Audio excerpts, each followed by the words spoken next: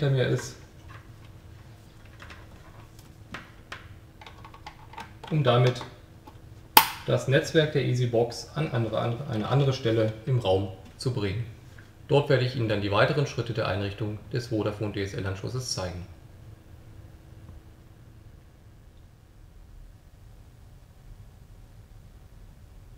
So, wir haben hier den Powerline-Adapter installiert und nun zeige ich Ihnen die weitere Einrichtung der Vodafone EasyBox. Zunächst, um das Konfigurationsmenü der EasyBox aufzurufen, gehen Sie in Ihrem Browser, zum Beispiel EE oder Firefox, auf easy.box. Danach kommen Sie auf diesen Anmeldebildschirm.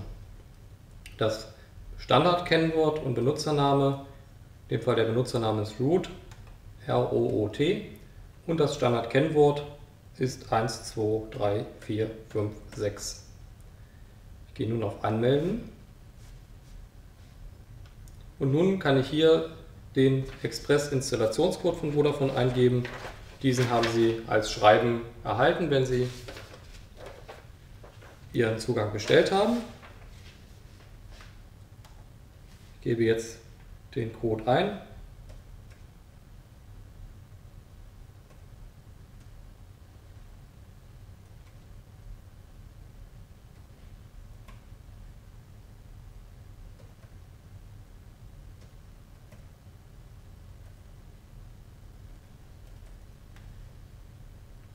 mache jetzt hier übernehmen.